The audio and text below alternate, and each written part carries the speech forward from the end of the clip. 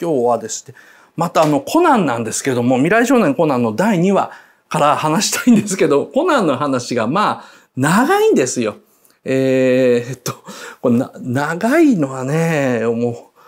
かなり長いんですね。えー、第2話旅立ちですね。えー、第1話でロケットランチャーが暴発して寝たきりになっちゃったおじいなんですけど、コナン、コナンのおじいなんですけど、おじいは、まあ、あの、コナンにですね、昔話を語り終えると死んでしまう。これもう、みんなもう2話を見たという体で話してますよ。で、えー、悲しみとか悔しさ、コナンはその悲しみとか悔しさをですね、岩を持ち上げるというですね、だけの演技で表現ですよね。その、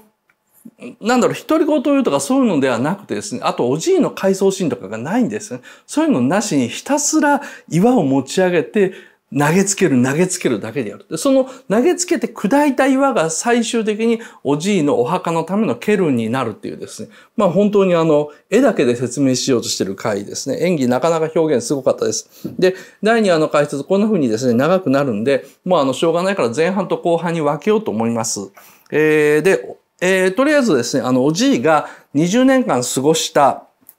残され島とですね、ロケット小屋というのをですね、えー、考察してみようと思います。えー、これあの、残され島の地図です。ちょっといろいろ落書きっぽくなってるのはですね、あのー、かなりあの古い本なんですけども、コナンの放送当時ですね、えー、ラポートというですね、あの、アニメックという雑誌を出しているところが出してた未来少年コナン大辞典ですね。これ割とあの便利な資料でですね、で、まあ、あのー、まあ、これが現物のページなんですけど、まあ、同じもんですね。わかりやすくコピーしたやつなんですけど、いろいろどんなエピソードがあったのか、ここでどんな事件があったのかっていうのを、まあ、書き加えてくれてるんですけども、まあ、大体こんな感じで、だと思ってくれる。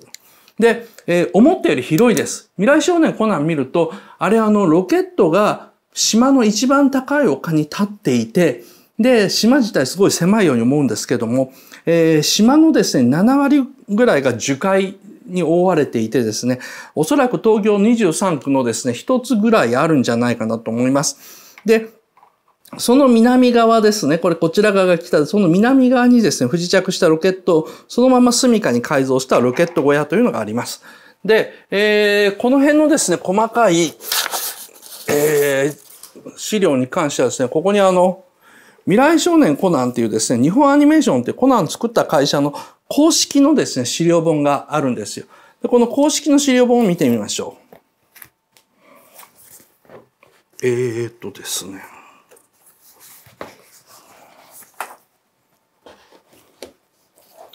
はい。じゃあ、えー、この辺見せてください。えーとですね、まあ大体ですね、このロケット自体が、え、直径4メートル、長さ20メートルぐらいだからですね、あの、いわゆる通勤電車と同じぐらいのサイズだと思ってください。で、えー、かなりですね、細かい設定なんですよね。で、あの、宮崎駿がわざわざ中のですね、えー、断面図みたいなものもですね、公開してくれたのでですね、あの、10年ぐらい前に模型を作ってみました。で、その模型が、えー、こちらにあるやつですね。えー、ロケット本体は、あの、マーブルチョコですね。富士屋のマーブルチョコなので、まあまあ、細いです、細いです。で、えー、石垣、手前にある石垣はですね、あの、本物の小石をですね、えー、木工ボンドで積み上げてるんですけども、これはですね、こうカメラの限界まで寄っても、ちょっと見えにくいと思うのでですね、えー、一応あの、なんだろう、あの、クローズアップで撮影しま、してみました。こんな感じでですね。撮影してみました。えこんな風にですね、石垣がこうずーっとあって、その奥にわらぶきの家があるような感じになっています。えー、で、ここの石垣が開いてる部分ですね。ここにはですね、あの、以前はロケットから外したドアがついてました。金属製の扉がついてましたけど、今ありませんですね。島の暴風で吹き飛ばされてます。で、ロケットの、ここにロケットがあるんですよ。この位置にロケットがあって、その横に小屋があって、で、その周囲にさらに、えー、囲むようにしてですね、石垣があるんですね。えー、なんで二重構造にしたのかっていうのは、これもう少し後で語ってみたいと思います。えー、ですね。で、あの、すいません。これもう一回また、模型の方に戻っていただけますか、カメラ。で、あの、模型のこの屋根は外れるんですね。で、外れるんですけど、これもですね、あまりに細かいのでですね、えー、っと、あのこちら側でアップで写真撮ってみました。えー、わらぶきというかですね、細いツタ植物で、あの、わらぶきっぽいものを作ったんじゃないかというふうに推理して、こういう構造にしてみました。で、本来、なんか模型っていうのは、あの、形を楽しむとか言うんではなくて、よくわからないフォルムとか構造を知るとかですね、推理するためにあるんじゃないかなというふうに思うので、せっかくあの、内部までこあの、構造まで書いてくれてる資料なんで、あの、模型も断面がわかるようにですね、えー、していますですね。えー、ロケット小屋のですね、内部構造。こんな感じになってます。ぐるぐるぐるっと回して。はい。えー、まあ、寄れるだけ寄ってみてください。これも大丈夫です。あの、なんとか説明しますから。えー、こんな感じです。これもあの、わかりにくいのでですね、あの、写真で、えー、撮ってみました。えー、こんな感じですね。えー、地面に突き刺さったロケットで、えー、突き刺さったロケット部分ですね。で、ここにあの、魚がいっぱい干してあります。ですね。なので、足を踏み入れたモンスリーがですね、魚臭いというふうに馬鹿にしました。で、えー、これあの、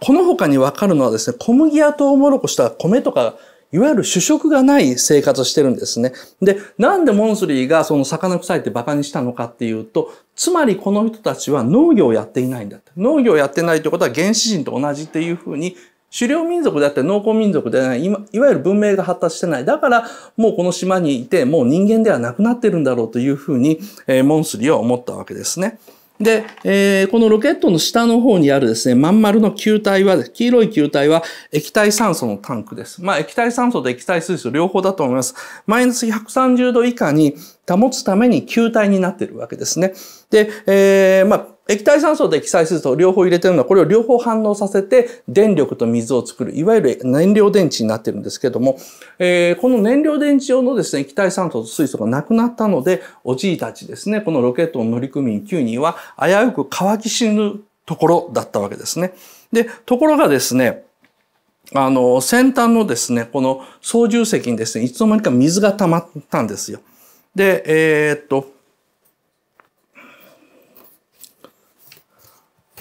これですね。え、ロケットの先端のところに、まあちょっと青い線があるのがですね、これがあの溜まった水を表現してるんですけども、えー、不時着した時に、あの、島には水が全くなかったんですけども、突き刺さったロケットの先端が地下水脈を掘り当てたと。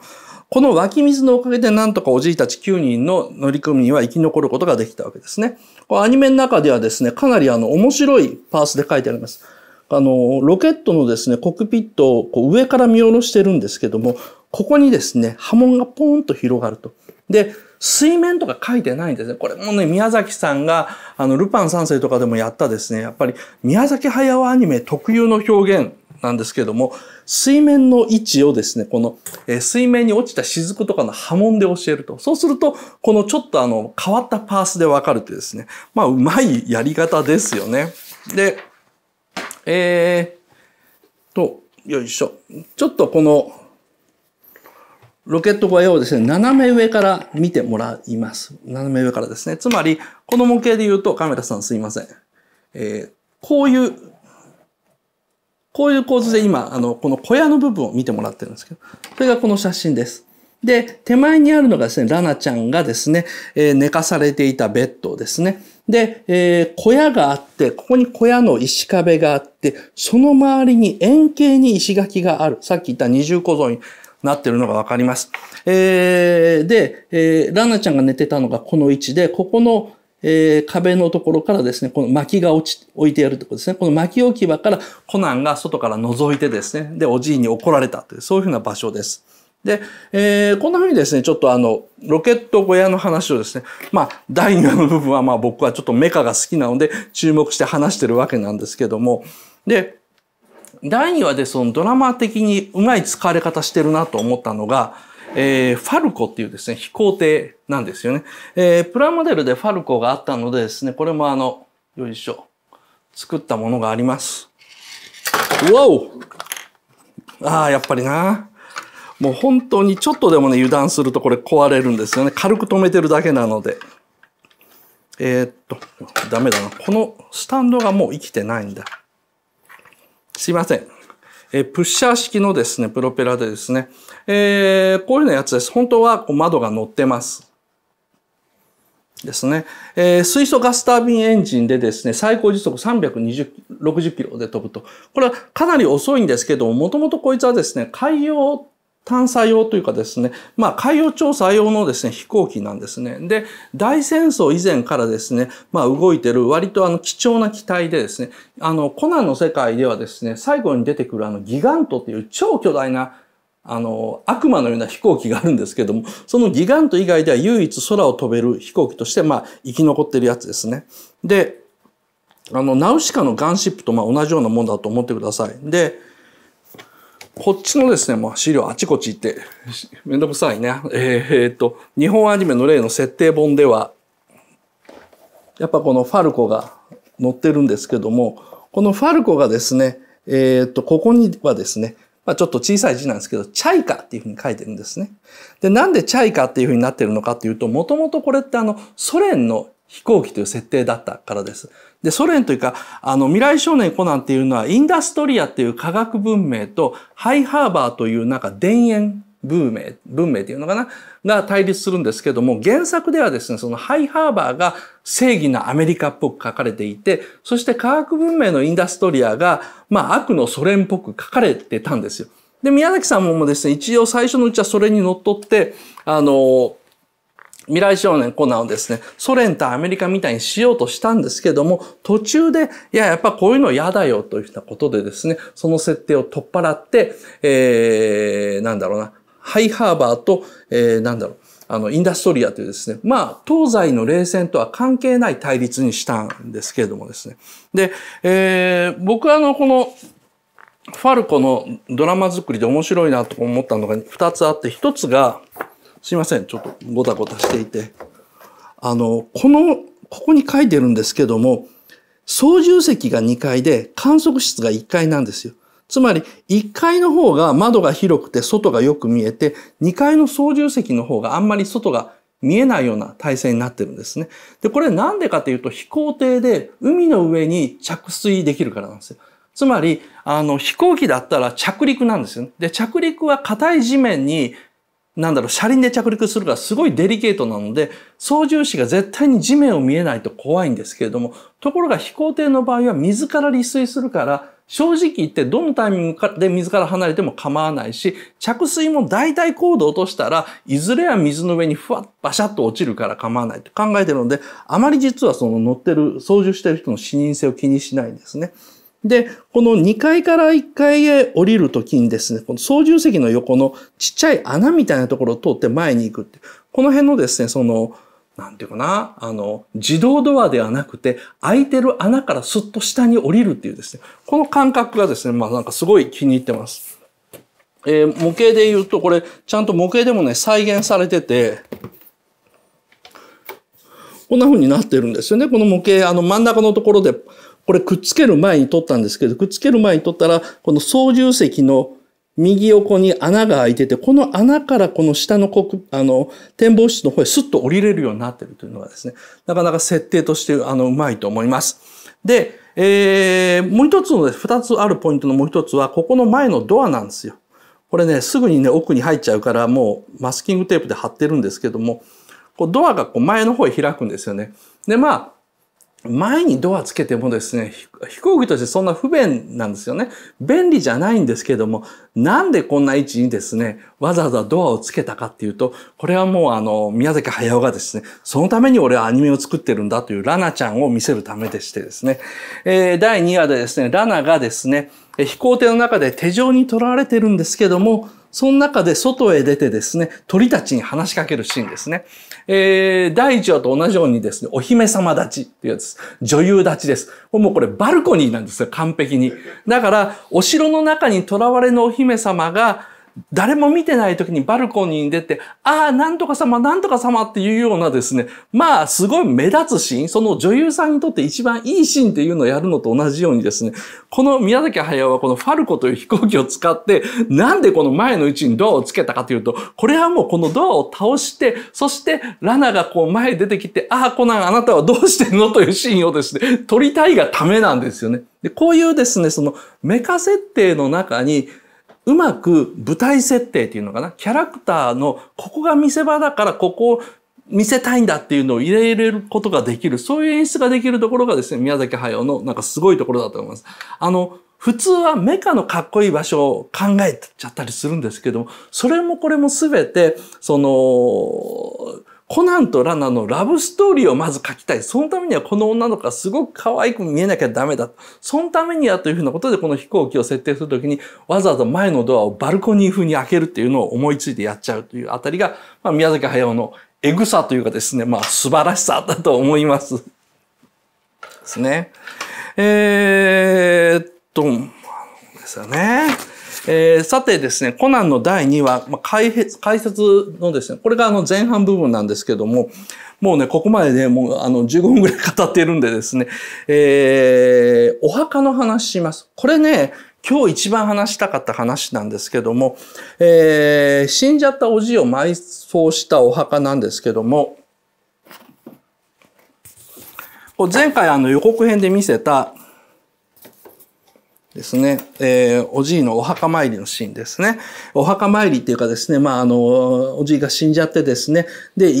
悲しみながらり岩を割って、それを積み上げて、ケルンを作る、お墓を作ったわけですね。で、その横にはですね、同じようなケルンがずらりと並んでいて、おじいの仲間やですね、コナンの両親もですね、ここに埋葬されているのがわかるんですね。えー、おじいを含めてですね、宇宙船乗組員9人分のお墓があります。で、旅立ちの朝ですね、えー、コナンはですね、えー、おじいに別れを告げるためにですね、もう一度墓を訪れます。だから、おじいが死んだ日に、おじいのお墓を作って墓参りをして、墓参りというかですね、その場で冥福を祈り、で、その後、旅に出るですね、準備をずっとしていてですね、で、最後の日の朝にですね、夜明けの時にもう一度墓を訪れるわけですね。で、お墓はですね、島の東海岸にあって、朝日を受ける、まあ、あの、崖の上にあるんです。で、コナンはですね、最後に、もう一度ですね、お墓を見上げます。もうこれ行ってしまうという時にですね、このお墓を見ると、そうすると後ろから朝日がこう昇ってくるわけなんですけども、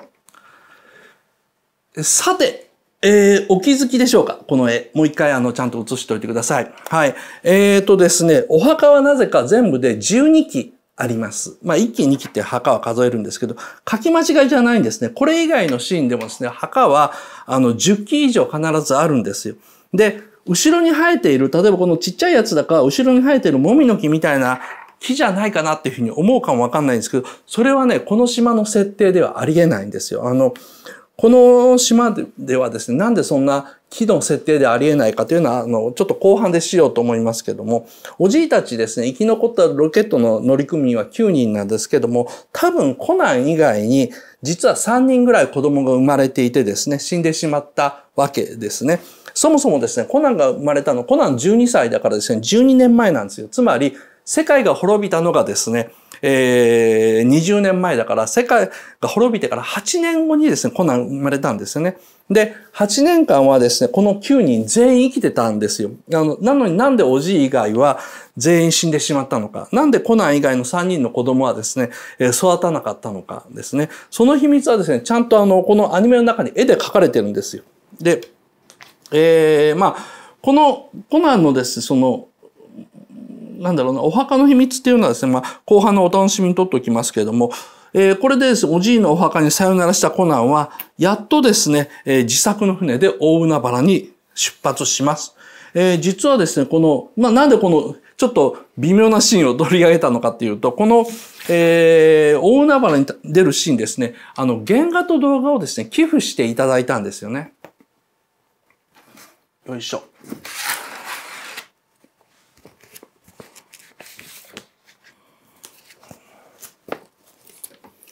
これですね、あの、大変貴重なものなんですけども、えー、当時のですね、実物のあの原動画です。あの、原画ですね。で、えー、とですね、このシーンは、さっき見せたシーンは、ここなんですよ。よいしょ。完全に同じなのがわかりますね。で、えー、この紐の部分に A って書いてあるんです。これは A セルって意味です。で、体の部分に B と書いてるのが、これが B セルですね。で、髪の毛が C セルなんですよ。で、こういうふうに、まあ、あの、セルを分けてくださいと。えー、この紐の部分は全く動かないから、これだけ独立させて A セルにして、体が振り返ったりして大きく動くから B セル。で、髪の毛はずっとあの、動きっぱなしなんですね。風に吹かれて動きっぱなしなので、まあ、一番多く動かすので C セルにしといてくださいというふうにしてるんですけども、で、これでですね、作画してもらったらですね、えー、なんか、文句が出てるんですね。で、これ、おそらく、あの、さっきのですね、ちょっと構図っぽいやつが宮崎駿で、このラフっぽいやつが大塚康夫さんが書いたやつなんですよ。おそらくこれはあの大塚康夫さんだと思うんですけど、ラフで書いたんですけども、これに対してですね、原画が上がってきたのが、上がってきた原画がですね、ちょっと宮崎さん不満だったんで、宮崎駿自身がですね、ラフを入れてます。で、ここに参考って書いてるので、あくまで作家の仕事をですね、あの、なんだろうな、邪魔しないように、こんな感じで動かしてくださいって参考として書いてるんですけども、さらにですね、えー、紙を乱してくださいとかですね、セリフの追加がありますというふうなことで、コナンが手を挙げてるシーン、単なる手を挙げてるんじゃなくて、ちゃんと手を振ってるように、まあ、あの、動画演出というかですね、あの、作画のあの、指示をしているわけですね。まあ、こういうのがですね、出てきたんでですね、ちょっとあの、まあまあ、あの、寄付でいただいたものなんですけど、あの、岡田敏夫博物館にですね、えー、展示させていただこうと思います。どうもありがとうございました。えー、こんな風にですね、未来少年コナンって、すごい古いファンの方がいるので、未だにですね、あの、貴重な資料が時々出てくる人がですね、個人レベルでですね、その、自分であの保存してる人が多いんですよね。あのー、で、さっきのこのシーンもですね、このコナンがさようならっていうふうに、あ、ごめんなさい。手を振るシーンなんですけども、この後振り返ってさようならっていうふうに手を振るんですけども、セル時代のアニメっていうのはこんなふうに A セル紐、B セル体、で C セル髪の毛動かして、で背景の雲は実はこれ真横ではなくて斜めに引いてるんですね。かなり複雑な引き方をしてると。でこんな感じでですね、あのセル時代のアニメっていうのは、あの出て、できていましたというですね、話です。えー、今夜はですね、あの、未来少年コナンのですね、第3話。